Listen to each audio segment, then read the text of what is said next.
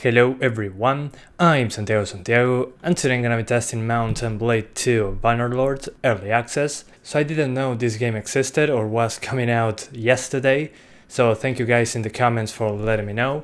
Remember this is early access so it should improve as time goes on, so if you're watching this video very far into the future, it might be better or worse, we don't know yet, it didn't happen.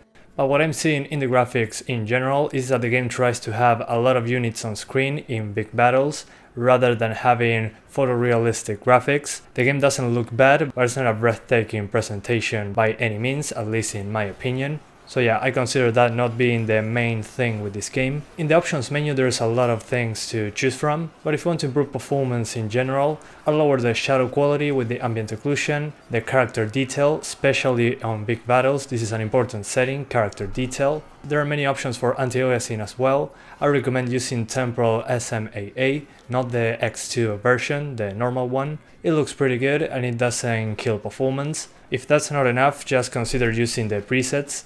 Medium settings seems to be the best balance with visuals and performance. On low settings it already starts to look very very different, like a game from 7 years ago or something like that. So yeah, if you want to retain the graphics as much as possible, use medium and crank up textures if you have enough VRAM for that. For the testing I'll show you two very different scenarios. One of them is a big battle with 500 units, which is the default that the game uses, so I kept it at 500 and I'm just going to go in there, see as many units on screen at the same time to stress both the GPU and CPU at the same time. And you'll notice that both are used very very much, especially getting close to the battle.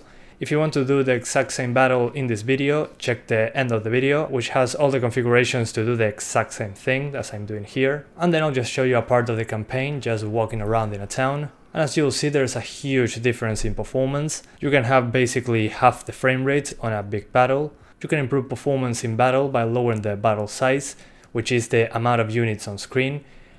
Again, the default is 500, so I kept it there. But if you do 250 or something like that, expect over 10 FPS more. But yeah, it all depends on the kinds of battles that you want to do. I'm not even going to try a thousand units on screen, that's going to be crazy. So yeah, if you're not going to do a big battle, just take the campaign numbers as a reference, which are significantly better, again.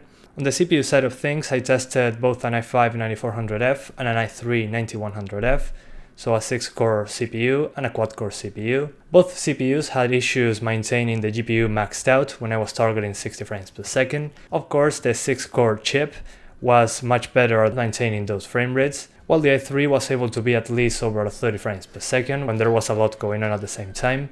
I don't have a Ryzen 5 to compare right now, but I expect it to be similar to the i5 or a little better if the game uses the extra threads. But then on the campaign it doesn't matter that much, it usually matters when there's a lot of units on screen. Then something that surprised me, the RAM usage was very high, it was always over 8 gigabytes. It can start at 6 gigabytes on the campaign, but after like 5 minutes you'll be pretty much over 8 gigabytes no matter what, but it always stayed below 11 gigabytes, so 12 gigabytes of system RAM should be just fine. But yeah guys, that's about it, I hope you keep enjoying the video, thanks for watching and see you next time!